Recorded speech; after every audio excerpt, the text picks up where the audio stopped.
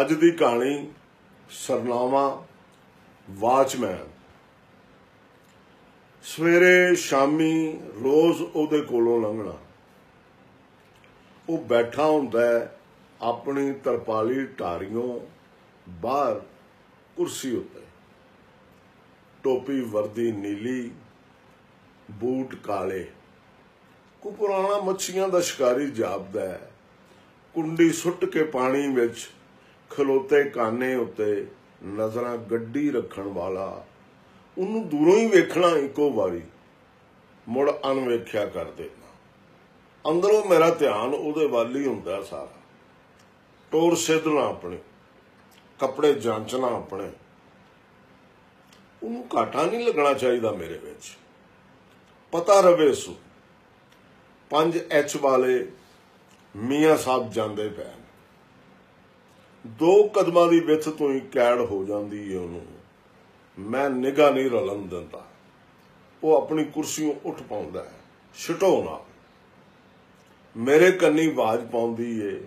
ਲਿਲੜੀ ਜਿਹੀ। ਸਲਾਮ ਅਲੈਕਮ ਸਰ। ਮੈਂ ਤਣਿਆ ਸਿਰ ਉਲਾਰਨਾ। ਵਾਲੇਕਮ। ਇਹ ਆਖਣਾ ਮੈਂ ਉਹਦੇ ਸੁਣਨ ਜੋਗਾ। ਅਸਲਾਮ। ਆਪਣੇ ਬੁੱਲਾਂ 'ਚ ਹੀ ਕੁੱਟ ਲੈਣ। ਬਸ ਫਿਰ ਕੁਝ ਹੋਰ ਹੀ ਹੋ ਜਾਣਾ ਮੈਂ। ਦਫ਼ਤਰ ਦੇ 5 ਮਿੰਟੇ ਰਾਹ ਦਰ ਟੁਰਦਾ ਅੱਧੀ ਸੜਕ ਮੱਲੀ ਖਲੋਤੀਆਂ ਗੱਡੀਆਂ ਉੱਤੇ ਬੜੀ ਤਪ ਚੜਦੀ ਏ ਮੈਨੂੰ। ਨਾਲ ਕੋਈ ਰਿਕਸ਼ਾ ਸਵਾਰੀ ਲਾਂਦਾ ਚੜਦਾ ਤਾਂ ਉੱਕਾ ਜਰਮ ਨਹੀਂ ਹੁੰਦਾ। ਵੇਖਦਾ ਨਹੀਂ ਮੈਂ ਰਿਕਸ਼ਾ ਡਰਾਈਵਰ ਤੇ ਸਵਾਰੀਆਂ ਵੱਲੇ।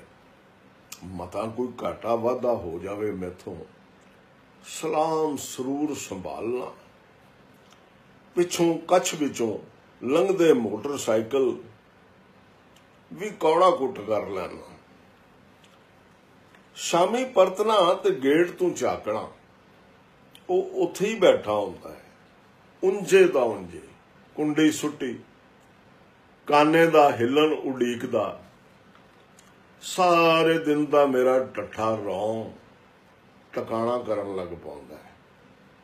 ਸਵੇਰ ਵਾਕਣ ਉਹਨੂੰ ਤੱਕ ਕੇ ਅੰਤਕਿਆ ਕਰਦਾ, ਮੈਂ ਟੋਰ ਸਾਂਭਦਾ, ਵਧਣਾ ਉਹਦੇ ਵੱਲ। ਉਹ ਦੋ ਕਦਮਾਂ ਦੀ ਵਿੱਥ। ਉਹ ਸਿਹਤਮੰਦ ਉੱਠਣੀ ਉੱਠਦਾ ਹੈ। ਸਲਾਮ ਅਲੈਕਮ ਸਰ। ਮੈਂ ਵੇਖੇ ਬਿਨਾ ਅੱਗੇ ਨੂੰ ਸਿਰ ਨਿਵਾਨਾ, ਮਨ ਦੀ ਆਵਾਜ਼ ਤਗੜੀ ਕਰਨਾ। ਵਾਲੇਕਮ। ਉਹਦੇ ਵੱਲ ਜਾਂਦੀ ਏ। ਅਸਲਾਮ, ਫਿਰ ਬੁੱਲੀ ਕੁੰਝ ਲੈਣਾ। ਘਰ ਦੀਆਂ ਦਲੇਜਾਂ ਲੰਘਣ ਜੋਗਾ ਕਰ ਦਿੰਦੀ ਏ ਮੈਨੂੰ ਉਹਦੀ ਸਲਾਮ ਅਲੈਕਮ, ਸਰ। ਖੁਸ਼ੀ ਤਰੁੱਟੀ ਤਾਕਤ ਸੰਭਲਣ ਲੱਗ ਪੈਂਦੀ ਹਾਂ ਨੂੰ ਆਈਆਂ ਖੁੰਗੀਆਂ ਝਰੀਟਾਂ ਮਲਵੀਆਂ ਜਾਂਦੀਆਂ ਨੇ। ਥੁੜਿਆ ਨਖੁੱਟਿਆ ਆਪਾ ਵਤਰ ਹੋ ਜਾਂਦਾ ਹੈ ਘਰ ਅੱਗੇ ਮੈਂ ਲਿਸਾ ਨਹੀਂ ਪੈਣ ਲੱਗਾ ਹੁਣ ਮੈਨੂੰ ਤਸੱਲਾ ਹੋ ਜਾਂਦੀ। ਉਹ ਉੱਥੇ ਹੀ ਰਹਿ ਜਾਂਦਾ ਹੈ। ਤਰਪਾਲੀ ਢਾਰੀਆਂ ਬਾਹਰ ਟੋਪੀ ਵਰਦੀ ਬੂਟ ਹੋਇਆ। ਮੈਨੂੰ ਚਿਤ ਚੇਤਾ ਵੀ ਨਹੀਂ ਰਹਿੰਦਾ ਹੁੰਦਾ। ਸਾਂਝਾ ਵਾਚਮੈਨ ਨੇ ਕੋਠੀ ਦੇ ਅਸੀਂ ਸੱਤੇ ਘਰ ਰਲ ਕੇ ਉਹਨੂੰ ਤਨਖਾਹ ਦਿੰਦੇ ਆ ਇੱਕ ਘਰ ਨੇ ਉਹਦਾ ਨਾਸ਼ਤਾ ਤੇ ਦੋ ਵੇਲਿਆਂ ਦਾ ਟੁੱਕਰ ਵੀ ਲਾਇਆ ਹੈ। ਉਹਦਾ ਖਲੋ ਸਲਾਮ ਬੁਲਾਣ ਮੁਨਾਫਾ ਹੈ ਮੇਰੇ ਹਿੱਸੇ ਦਾ।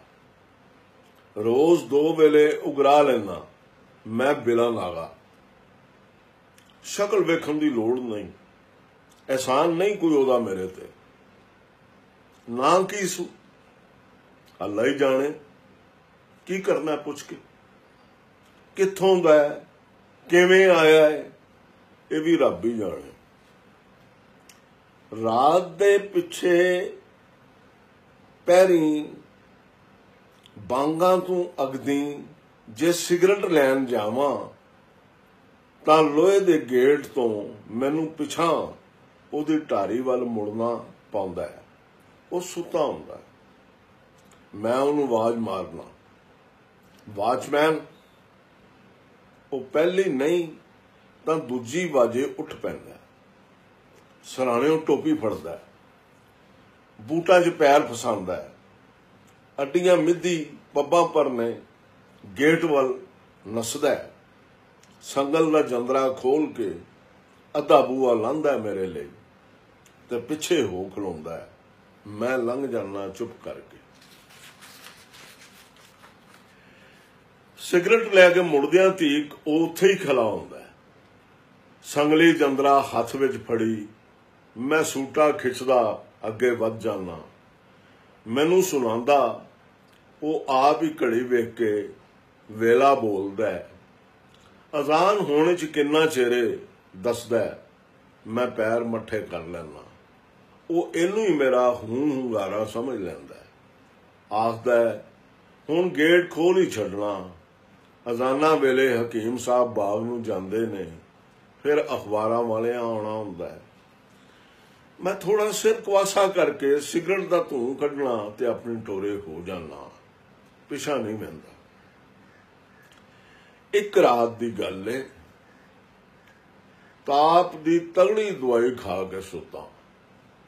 ਡੇਢ 2 ਵਜੇ ਅੱਖ ਖੁੱਲੀ ਏ। ਸਾਰਾ ਬਿਸਤਰਾ ਮੁੜਕੇ ਨਾਲ ਤਰ। ਜਿਬ ਤਾਲੂ ਸੁੱਕ ਕੇ ਲੱਕੜ। ਅੰਦਰ ਤਲਖੀ ਸਾੜ। ਦੋ ਗਲਾਸ ਪਾਣੀ ਪੀਤਾ ਠੰਡਾ। ਕਮਰੇ 'ਚ ਫਿਰਨ ਲੱਗਾ। ਪਤਾ ਹੈ ਨੀਂਦਰ ਨਹੀਂ ਆਣੀ।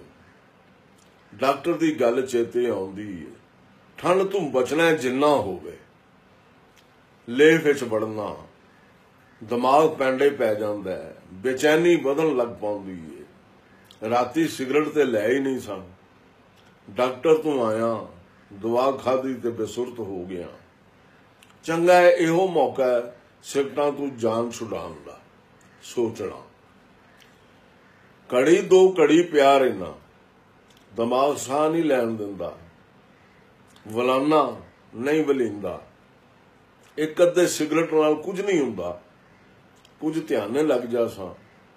ਉੱਠ ਕੇ ਜੁਰਾਬਾਂ ਪਾਣਾ ਜੈਕਟ ਲੈਣਾ ਸਿਰ ਤੇ ਦੋਰੀ ਟੋਪੀ, ਅਡੋਲ ਬਾਹਰ ਨਿਕਲਣਾ, ਟੁਰਨ ਨਹੀਂ ਹੁੰਦਾ। ਕਸੀਟਣਾ ਆਪਣਾ ਆਪ। ਪੋਏ ਤੋਂ ਅਸਮਾਨਾਂ ਤੋੜੀ ਧੁੰਦੀ ਧੁੰਦ। ਨਾਲ ਠੰਡੀ ਸੀਤ ਵਾਦ ਚੱਖੜ। ਧੁੰਦ ਨੂੰ ਕੋਈ ਫ਼ਰਕ ਨਹੀਂ ਪੈਂਦਾ। ਹੋਰ ਵੀ ਸੰਘਣੀ ਹੁੰਦੀ ਜਾਂਦੀ ਹੈ ਪੈਰਾਂ 'ਚ ਹੀ ਅੱਗੇ ਕੁਝ ਨਹੀਂ ਦਿਸਦਾ। ਮੂੰਹ ਗਿੱਲਾ ਹੁੰਦਾ ਜਾਪਦਾ ਹੈ ਗਲੀ ਦੀਆਂ ਕੰਨਾਂ ਉੱਤੇ ਬਲਦੇ ਖੱਟੇ ਬਲਬ ਵੀ ਠਰੇ ਪੈਣ। ਚਾਨਣ ਉਹਨਾਂ ਦੇ ਆਲ ਦੁਆਲੇ ਇਕੱਠਾ ਹੋਇਆ ਪਿਆ ਹੈ ਗੇਟ ਬੰਦ ਦੇ ਤਰਪਾਲੀ ਢਾਰੀ ਵੱਲ ਮੁੜਨਾ, ਪਹਿਲੀ ਵਾਰੀ ਖਿਆਲ ਆਉਂਦਾ ਹੈ, ਉਹਦੇ ਸੁੱਤੇ ਹੋਣ ਦਾ। ਸਾਰੇ ਦਿਨ ਦਾ ਥੱਕਿਆ ਟੁੱਟਿਆ ਨਿੱਗਾ ਹੋ ਕੇ ਸੁੱਤਾ ਪਿਆ ਜਗਾਣਾ ਤੇ ਪੈਣਾ ਅੱਜ ਮੇਥੋਂ ਵਾਚਮੈਨ ਨਹੀਂ ਆਖਣ ਹੁੰਦਾ ਉਹਨੂੰ।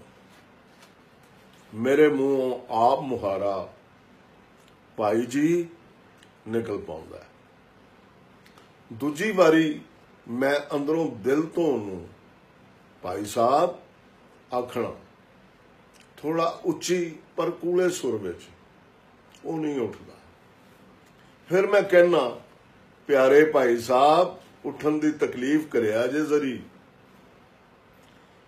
ਬਾਅਦ ਖਬਰੇ ਹੋਰ ਵੀ ਕੂਲੀ ਹੋ ਜਾਂਦੀ, ਸੋਚਣਾ ਨਾ ਉਠਿਆ, ਤੇ ਕੋਈ ਨਹੀਂ, ਘਰ ਮੁੜ ਜਾਸਾ ਉਹ ਉੱਠ ਬੰਦਾ ਸਰਾਣੇ ਟੋਪੀ ਫੜਦਾ, ਪੈਰੀ ਬੂਟ ਅੜਾਂਦਾ ਸਿੱਧਾ ਗੇਟ ਵੱਲ ਹੁੰਦਾ ਮੈਂ ਆਨਾ ਤਕਲੀਫ ਦੀ ਮਾਫੀ। ਉਹ ਚੁੱਪ ਕੀਤਾ ਗੇਟ ਖੋਲ ਦਿੰਦਾ ਹੈ। ਚਾਹਨਾ, ਉਹ ਧੁੰਦ ਦੀ ਵਾਹ ਦੀ ਗੱਲ ਕਰੇ, ਉਹ ਨਹੀਂ ਕਰਦਾ। ਮੈਂ ਨਸਦਾ ਸਿਗਟਾਂ ਵਾਲੇ ਕੋਲ ਅਪੜਨਾ ਸਿਗਰਟ ਲੈਣਾ, ਨਸਦਾ ਹੀ ਪਰਤਣਾ। ਬੇਅੰਗ ਸਿੰਘਾਂ ਟੰਗਾਂ ਵਿੱਚ ਜ਼ੋਰ ਪਤਾ ਨਹੀਂ ਕਿੱਥੋਂ ਆ ਗਿਆ ਮੈਂ ਨਹੀਂ ਸੋਚਦਾ। ਉਹ ਅੱਗੇ ਹਾਰ ਖਲਾ ਹੈ। ਆਪਣੀ ਪੁਰਾਣੀ ਥਾਵੇਂ ਸੰਗਲੀ ਜੰਦਰਾ ਫੜੀ। ਮੈਂ ਗੇਟ ਤੋਂ ਲੰਘ ਖਲੋਣਾ ਥੋੜੀ ਵਿੱਥ ਤੇ। ਉਹ ਬੂਹੇ ਜੋੜ ਸੰਗਲੀ ਮਾਰਦਾ ਮੈਂ ਬੋਲਣਾ, ਭਾਈ ਸਾਹਿਬ, ਬੇਆਰਾਮ ਕੀਤਾ ਤੁਹਾਨੂੰ। ਮੇਰੇ ਲਫ਼ਜ਼ ਮੈਨੂੰ ਆਪ ਨੂੰ ਧੁੰਦ ਵਿੱਚ ਤਰਦੇ ਦਿਸਦੇ ਨੇ। ਉਹਦੇ ਤੀਕ ਨਾ ਪੁੱਜਦੇ। ਬੇਆਰਾਮੀ ਲਈ ਫਿਰ ਇੱਕ ਵਾਰੀ ਮਾਫੀ ਚਾਹਨਾ ਖਬਰੇ ਇਹ ਲਫ਼ਜ਼ ਵੀ ਮੇਰੇ ਧੁੰਦ ਲਵੇਟ ਲੈਂਦੀ ਏ। ਵਾਹ ਬੁੱਲੇ ਨਾਲ ਛੱਲਾ ਮਾਰਦੀ। ਉਹ ਬੋਲਦਾ ਨਹੀਂ। ਪਹਿਲੀ ਵਾਰੀ ਤੇ ਕੋਈ ਗੱਲ ਕੀਤੀ ਏ ਮੈਂ ਉਹਦੇ ਨਾਲ। ਬੋਲਣਾ ਚਾਹੀਦਾ ਉਹਨੂੰ। ਘੱਟੋ ਘੱਟ ਇੰਨਾ ਤਾਂ ਆਖੇ, ਕੋਈ ਨਹੀਂ ਸਰ, ਡਿਊਟੀ ਏ ਮੇਰੀ। ਸ਼ੁਕਰੀਆ ਤੁਹਾਡਾ। ਉਹ ਮੇਰੇ ਕੋਲੋਂ ਸਰਕ ਜਾਂਦਾ ਹੈ ਧਾਰੀ ਵਾਲੇ। ਮੈਂ ਖੜਾ ਖਲੋਤਾ ਰਹਿ ਜਾਣਾ ਵਾਹ ਨਾਲ ਆਈ ਉਹਦੀ ਚੁੱਪ, ਕੰਨ ਮੇਰੇ ਵਿੱਚ ਕਹਿੰਦੀ ਏ, ਜਾਓ, ਅੱਜ ਕੀ ਹੋ ਗਿਆ ਜੀ? ਟੁਰ ਪੈਣਾ ਮੈਂ, ਧੁੰਦ ਵਿੱਚ ਡੁੱਬਦਾ। ਸਿਗਰਟ ਮੇਥੋਂ ਲਾਲ ਨਹੀਂ ਹੁੰਦਾ।